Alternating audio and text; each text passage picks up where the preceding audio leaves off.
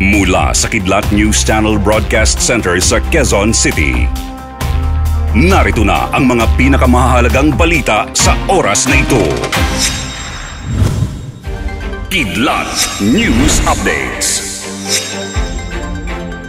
Buong Pilipinas ngayon ay nakaabang. Halina't samahan kami upang alamin ang mga balitang ating kailangan. Ako po si Cesar Soriano, kasama ang buong puwersa ng Kidlat News Channel para ihatid ang mga nangunang balita sa buong kapuluan ngayon. Humihingi ng hustisya ang isang ina makaraang mamatay ang kanyang sanggol na naputulan pa ng ulo sa loob ng kanyang sinapupunan sa Binalbagan Negros Occidental. Ayon sa ulat, naputol ang ulo ng sanggol habang iniluluwal ng ginang na si Nereza Tarig sa Binalbagan Infirmary.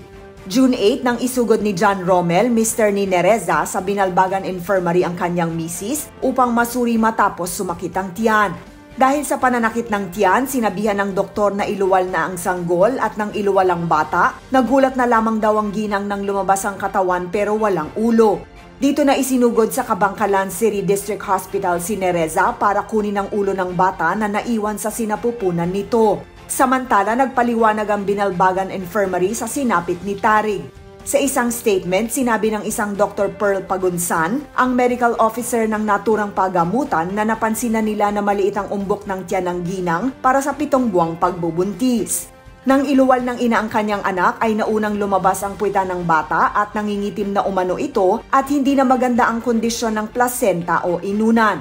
Pero nagulat na lamang daw ang mga doktor nang hindi kasamang lumabas ang ulo ng bata.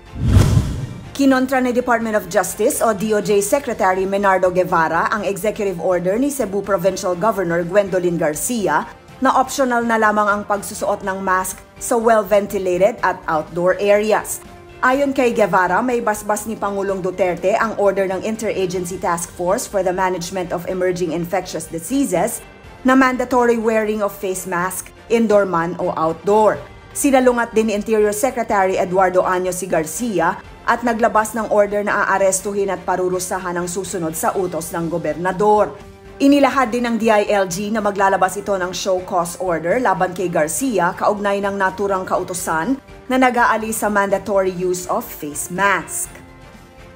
Pinaalalahanan ni Department of Agrarian Reform o DAR Secretary Bernie Cruz ang ilang politiko at iba pang grupo na huwag gamitin ng mga magsasaka para sa kanilang personal na interes. Sa halip, hinikayat ni Cruz ang mga ito na makiisa na lamang sa pagresolba sa mga suliranin sa isyu ng food security ng bansa. Ginawa ni Cruz ang naturang panawagan matapos lumabas ang statement ni Vice President Leni Robredo na hindi na dapat nang himasok pa ang mga pulis kasunod ng pag-aresto sa mga magsasaka sa Hacienda Tinang sa Concepcion Tarlac noong nakaraang linggo. Giit ng kalihim, dapat ay pinaimbestigahan muna ng Vice Presidente ang naturang issue upang malaman ang totoong nangyari bago naglabas ng pahayag. Nanindigan ng DAR na ang mga magsasaka ang nanghimasok sa hasyenda nang walang pahintulot at sinira ang apat na ektaryang lupain sa pamamagitan ng pag-araro. Para sa Kidlat News Updates, ako si Rosalyn Sinchonko, nag-uulat. At inyo pong natungayan ang mga headlines sa nakalipas na mga oras.